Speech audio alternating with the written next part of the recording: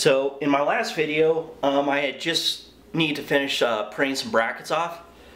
Um, so I just finished the last one. Now again, I'm going to leave the bar going across open on this side. So the next thing I want to do is put in a light system.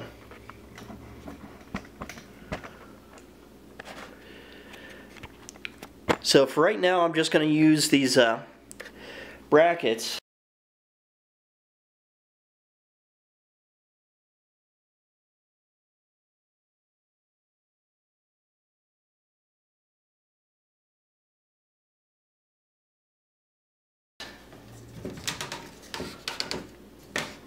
And these take um, two big flat washers.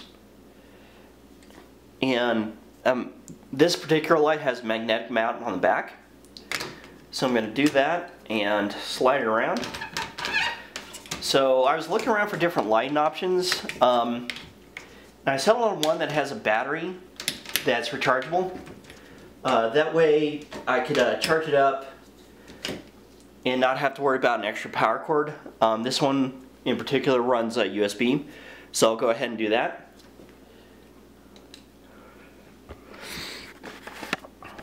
So now, with one light, um, right on top, have it covering the whole printer. So for this light, um, it's dimmable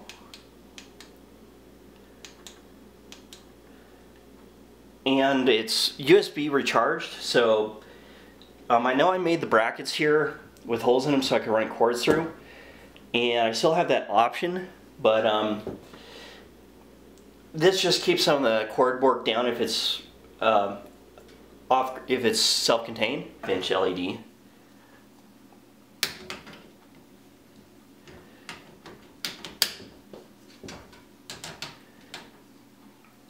And with this system, you can clamp it onto the sides or the top. Um, next thing I'm going to do is over here. I know in the last video I put this uh, white panel on. I'm going to move it over to the back. Um, and I'm going to put clear sheeting over the sides. So that'll be my next step.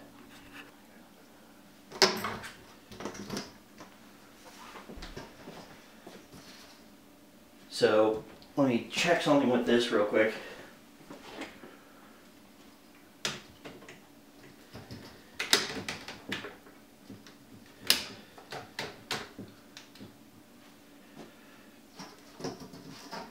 Yeah, so by putting the whiteboard in the back, get some uh, reflection, it drops off some of the glare that comes from the back. And in the future, I'm going to run a time-lapse camera through here, so this will be a nice flat background to go against. Okay, so for sheeting it, I did get some of this um, 2 mil clear drop cloth. And as you can tell, it's not completely clear. Um, I think for right now, if I just want something that closes up, I could go with this. Um, but for the front, I'm going to end up making, um, probably just end up making a little frame with this or leaving it, well, I want something to cover it, so I could do this for the top and sides, and for the front I'll make a clear door with some saran wrap. So yeah, I'm just going to tape it to some points along the frame and wrap around and for the door I'm just going to make a separate door. And on this side I have to cut a slot for the power box as well.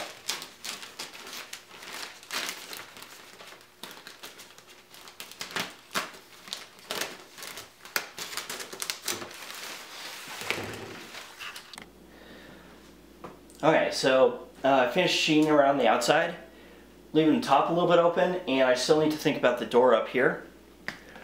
So let me take you around.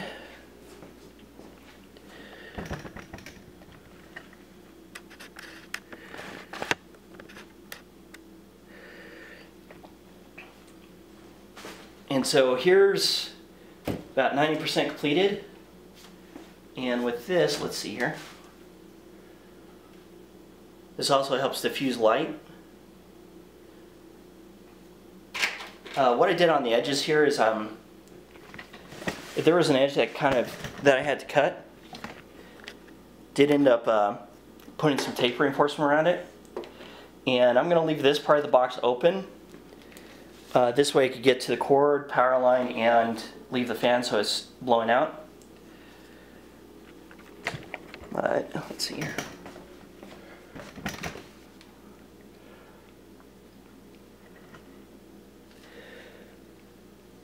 So this material does diffuse light, which is good. Um, gives you something more to play with.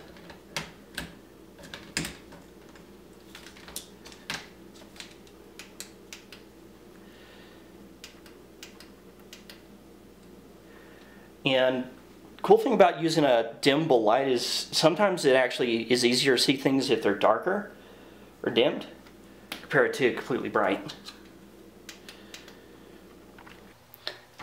So yesterday I tried covering this with uh, the semi, semi-transparent uh, drop cloth and I looked at it and it was going to be too opaque for this project. So for the door I just made a simple uh, PVC frame and to sheet it this is just uh, plain household plastic wrap that I just wrapped once around both sides of the um, frame and this will be my door and it's just going to rest on the uh, on the mountain here for the light. And this way it keeps people out and it rests up here so I don't I was gonna make a hinge but I'll have to play with that later.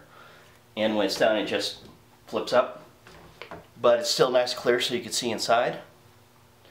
So I think I'm just gonna I'm still gonna leave the back panel on but I'm going to go ahead and just, um, since this is going to be the backside, I'll uh, put any tape or anything over here, and I'm just going to wrap the um, other sides with this, even though I might play around with this, but at least get this side covered.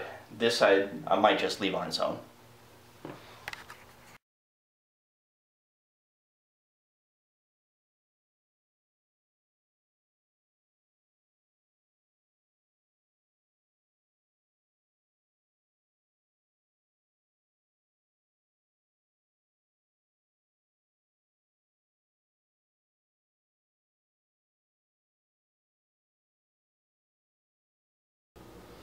So I, um, I'm writing the pipe, the plastic on the inside of the pipe, and then I'm going to flip it around so that way it's completely enclosed, and then I can tape it here on the back, hide all the tape back here.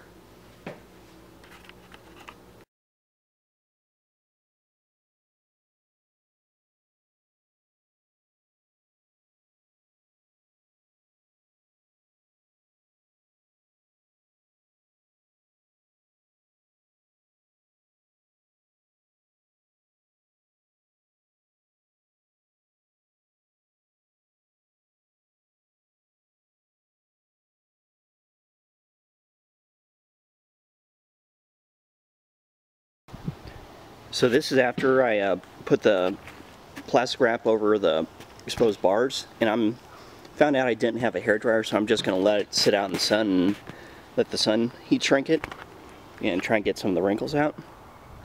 So here's a completed uh, enclosure now.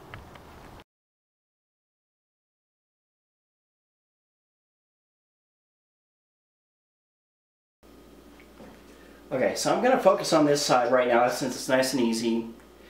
Um, so with your foam board, cut the piece to fit the length of the pipes you cut. And so this is going to fit like this. You notice on the edges here it's going to have some overlap.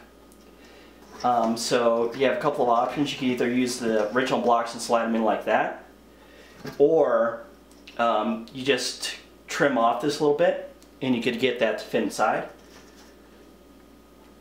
And the next thing I'm going to do is I'm just going to use the brackets that I'll provide the file link for and um, just bolt them on, two on each side. Okay, after a little trimming, um, I got it to fit snug in front of the back in the back brackets here. And I'm going to use these uh, clips that I made. Now these are designed so that it'll fit flush, flat with the sides of the pipe. And that way it goes around like this. And hold it in place. And it'll go around all the, the whole thing. I'm just going to focus on this part right now. So you're going to need a some sort of awl and your M3 nuts, bolts, and washers to clamp this all in together. So I'm going to go ahead and get started on that.